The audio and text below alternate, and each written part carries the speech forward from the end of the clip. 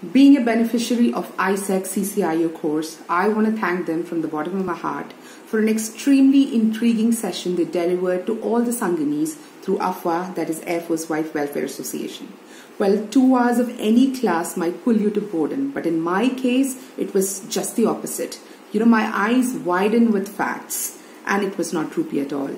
Well, I was a software engineer, and believe me, this course helped me explore how ignorant I was when it came to cybersecurity. I don't want to demarcate between direct and indirect beneficiaries of this course because I believe that if you're a person who is using internet, then you definitely are a beneficiary of this course. And needless to say, this course is highly inevitable for parents, teachers, students, lawyers, and counselors. Well, money and reputation is actually important. But one step, one wrong step online might ruin everything. I believe that, you know, just like the knowledge in numbers and languages are important to decide a country's literacy, I feel that the knowledge in cybersecurity must also be made mandatory.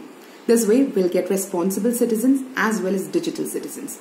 With this hope in my mind, I want to recommend ISAC and its CCIO course. Thank you so much.